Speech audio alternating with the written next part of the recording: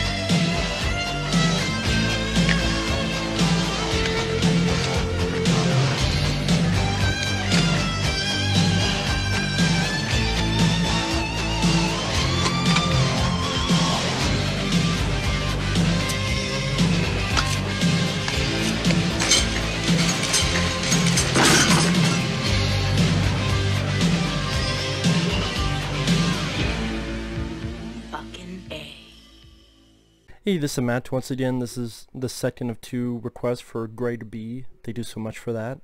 If anyone wants to request any type of review, re-review, topic, reaction, any type of video, you just send the request either directly to my PayPal or join my Patreon. Both links are down below in the info box. Now this is for 10 Cloverfield Lane, which I never saw and I never wanted to see because I knew this would not be for me and it kind of was proven right. Now I know this is a heavily praised film. If you liked it, that's cool. I will say the acting's not the problem. The main three actors, Mary, Mary Elizabeth Winstead, was not bad. She did her job. John Goodman, easily the best scene of this film. The other guy, I think is is John Gallagher Jr. I can't remember his name. He's not bad. I don't mind the setup of being in this bunker and wondering is there something out there, is there not? John Goodman says there's this, been this contamination. Mary Elizabeth Winstead doesn't know whether to trust John Goodman or not.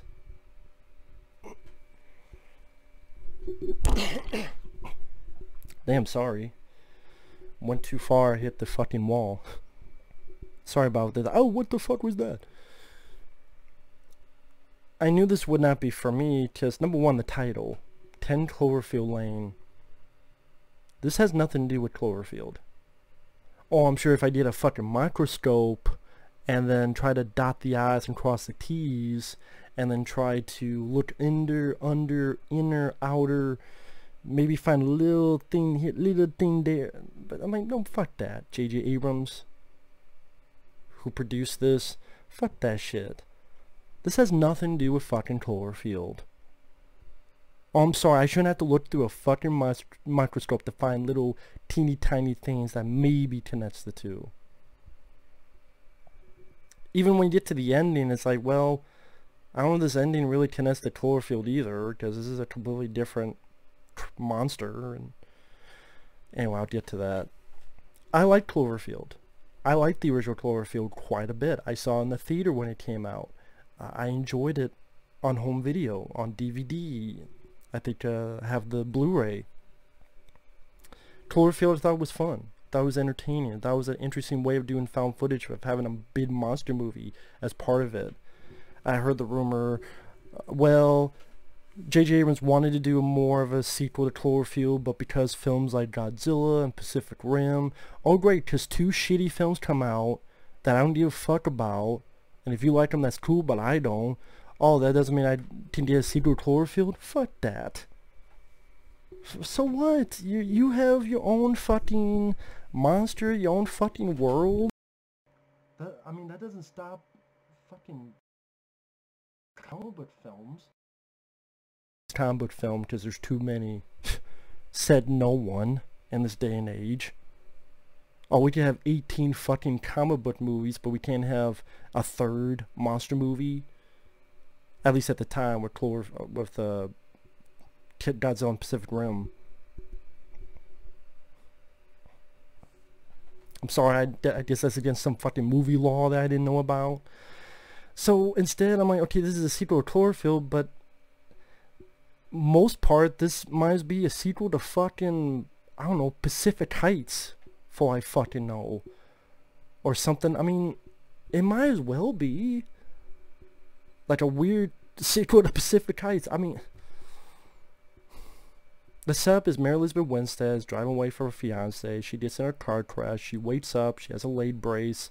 There's John Goodman saying that he's trying to keep you alive, keep her alive. Gives her a tour of this bunker. There's another guy named Emmett. And from the get-go, you know something's up with John Goodman with the way he acts and the way he's all out of it. So people are like, oh, you don't know if he's a good guy or a bad guy. It seems pretty fucking prevalent with how weird he is with they're at a table and the guy the other guy's trying to have some humor and John Goodman slams like, Your humor is not funny. Please shut up and let us eat in peace. But he's easily a blind man can see something's up with John Goodman's character. And so Mary Elizabeth Winstead hits him with a bottle, tries to escape. There's a woman outside with legions on, so Mary Elizabeth doesn't open it. Goes back inside, and let's read a montage of to the song I Think We're Alone Now, which was in the trailer. And they're playing puzzles, watching VHS tapes, play board games, things of that nature. Now, when I viewed this, I knew it was not be a fast-paced movie. I knew it was going to be a slow build of a film. But my problem is, what does it really build up to? That's a question I have for people who enjoy the film. What does it build up to? Yes, it has this mystery. Yes, it's supposed to have this intrigue. But it builds up to something where no answers are fucking given. Like with uh, John Goodman's character. Spoiler alert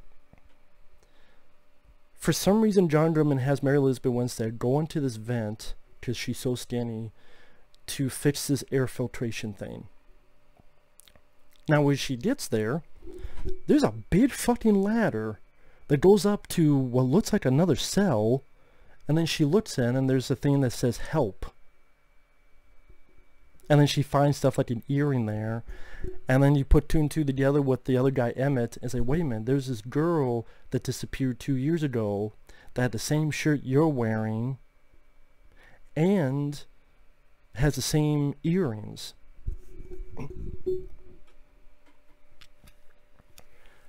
So, I don't see any other explanation.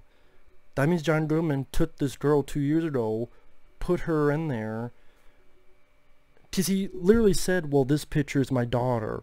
This shirt was my daughter's. And no, it's this girl that was hitting two years ago. So obviously this guy is crazy. He abducted this girl two years ago. So when people, when I read comments going, by the end, you still don't know if John Goodman is innocent. What more do you need to say that John Goodman, of course he's guilty. What other explanation is there? Even though this isn't my daughter, I'm going to tell you this is my daughter. Even though I said this is my daughter's shirt, no, this is actually someone else's shirt. I have some fucking thing that someone etched help in. And also, why would John Goodman send... He obviously would know the girl was up there. We don't see the body, but we can assume. He took care of it, still up there, whatever. Why didn't John Goodman fix the air filtration himself? He, this guy who is so cautious about everything else. He's so cautious about don't touch this, don't touch each other, don't do this. Hmm, I'm to take the shower curtain because this guy said maybe there's some, even a slint of contamination. Maybe I'll throw that away. He's so cautious about this, but he's to send this Mary Elizabeth Winstead to this air filtration where there's two feet, there's a goddamn ladder to a fucking cell that you kept someone, and there's all this other shit, including the earrings and stuff there. well, John Goodman couldn't fit in because the vent is too slim. How the fuck do you think John Goodman got there in the first place? How do you think he got there in the first place? How do you think this guy who's so adamant on building all this, he would have to get there sooner or later? Which means, I Darren fucking to you, there's another way to get into that place. I Darren fucking to you. How did it get there in the first place? How did everything get built in the first place? How did John Goodman get that girl who wrote Help? How did that get there in the first place? By fucking osmosis? Did, did he teleport her there like he's fucking Night Watcher? Which means there is a way for, and again, if Mary Elizabeth wasn't there, then uh, what, the air filtration just wouldn't work? No, I think this guy would have some kind of plan with concern how adamant he was on every fucking thing else. So then, yeah, I'm going to tell you to go to this place that has all this red flags about me, including this big fucking ladder and a big fucking tank that I had a prisoner in. Worst abductor ever. I guess that's where John Goodman's character is really stupid about that.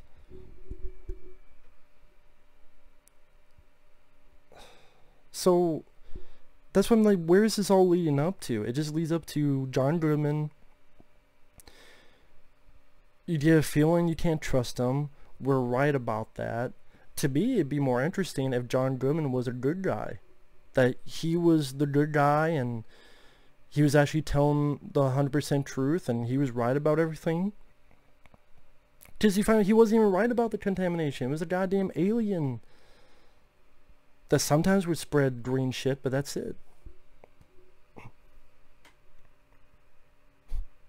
So if you have your first thought that John Goodman is a psycho nut, you're right. So there was no big reveal or big twist or big consummation of that plot line. So maybe the what, what was the fucking point other than I like John Goodman's performance. He's intense. He does a really good job. That's the one of the only things that kept me going is I like John Goodman as an actor. He gives a good performance. The movie is not. I don't think it's exciting. It's not scary. I don't think it was that thrilling. People say it's so suspenseful. I disagree. Because you know the girl ain't gonna die. You know the guy's gonna die because who the fuck is he? He's the third wheel. You know it's gonna be Mary Elizabeth Winstead versus John Goodman did anyone doubt that? I mean, maybe I'm alone. I mean, it's very women rule, boys rule. So the woman's gonna be She-Ra. She's gonna be the hero. To me, that's predictable. How many? Just think about how many times is it the reverse? How many times in this type of film could you ever really see, say, John Goodman is the good guy, he's doing the right thing, and Mary Elizabeth Winstead, in fact, she's a crazy nut? Could you ever view that happening? No. Because it rarely ever fucking happens in a movie where that kind of thing happens. Unless you set up from the beginning like a misery or fatal attraction, that type of thing. But I mean for like your twist with the way it's set up here, to me it was fairly predictable what it was going. And then by the end, she escapes. John Goodman gets burned by this chemical. She escapes. She's in the suit she made. By this point, the other guy, Emmett, has been shot by John Goodman. She sees birds. She takes off the suit. Then she sees what she thinks is a helicopter, but it's an alien spaceship. And you knew something like that would happen because other because if nothing sci-fi, if nothing supernatural, or I can't even say supernatural, but if nothing sci-fi happened, then you really would have a reason to go, why the fuck is this a sequel to Cloverfield? If this is a sequel to Cloverfield, that means something sci-fi has to be a part of it. Something sci-fi. That'd be like me going and taking uh, Bad Boys and calling it a sequel to Men in Black. Like Bad Boys for Life. Wow, that's a weird sequel to Men in Black. Or I took uh, Fast and Furious and said, well, this is a prequel to Riddick. Because Vin, you know, although Fast and Furious already did more and more sci-fi, now that I think about it. Because I hear they're going to go into space one day. But this one, I mean, like, people said it's so suspenseful. I just didn't see it that way. You know, John Goodman, he gives so many warning signs that he's not someone to be trusted, that he has these how he gets so mad at the table, that's not normal. You go, well, what about what's going on? I mean, no, there's something to it. It made me think of Tim Robbins in the War of the Worlds remake. And that's what this kind of is. That section in the War of the Worlds remake when Tom Cruise and Dakota Fanning are with the crazy Tim Robbins, you took that segment and you made an entire movie out of it. That's what this film feels like. And you know what? That wasn't my favorite segment in War of the Worlds remake. I liked that film. That wasn't really my favorite segment. There's other parts I liked. You even have a spaceship that lets this gas out. Although really in War of the Worlds it was this blood that was kind of, it sucked up blood and it cascades over the land so everything looks red, which looked pretty cool. While here it's green, it's more toxic gas.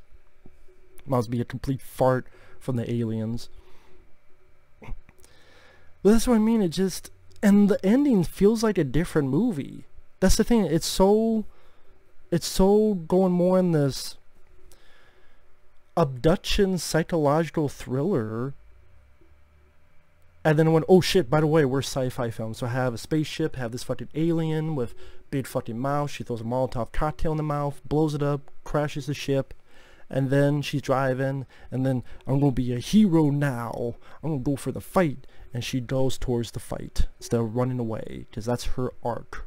Just one like one fucking piece of dialogue exchange about how she always runs away from stuff.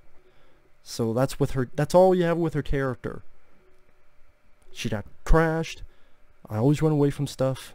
Now by the end she's gonna run towards the stuff and not the stuff with Larry Cohen. The some watches I'm going. The acting's not the problem. The three leads are not the problem. John Goodman's the best thing about this.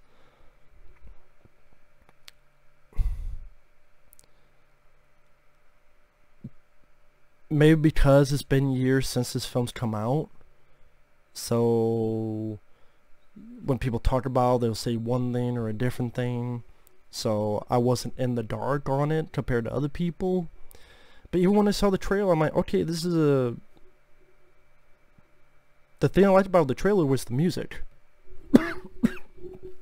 The slow down version of I think we're alone now.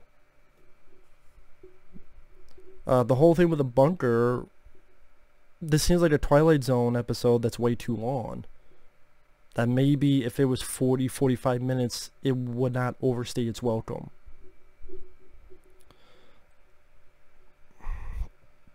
At the end of the day not much fucking happened. The mysteries wasn't that mysterious to me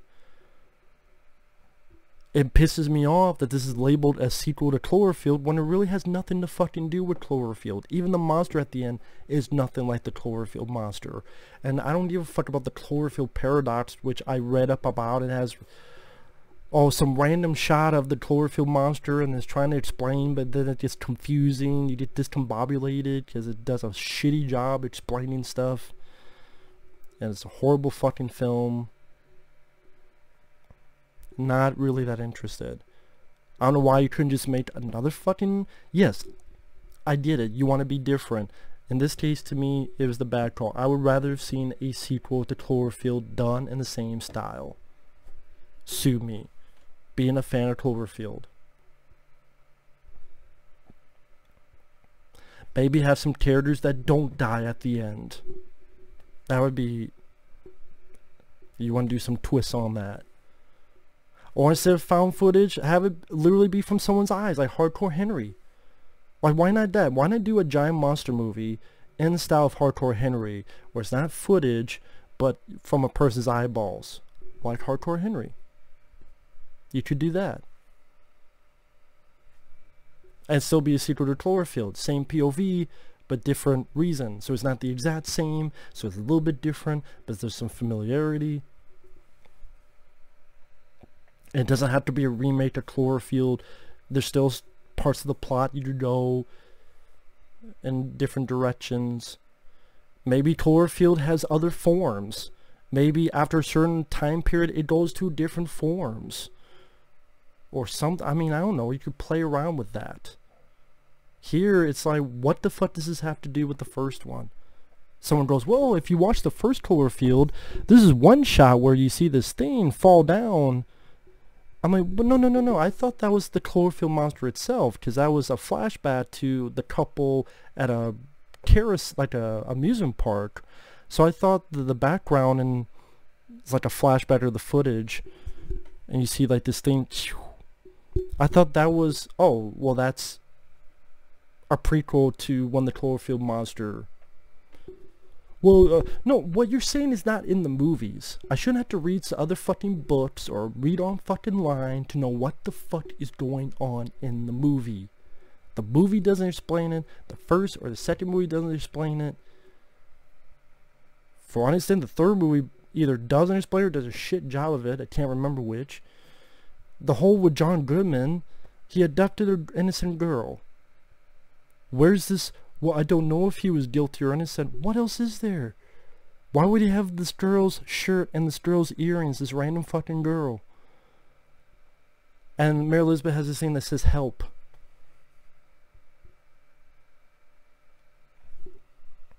And John Goodman keeps saying it's his daughter even though it's not. And gets pissed off so easily and randomly. That all screams villain to me.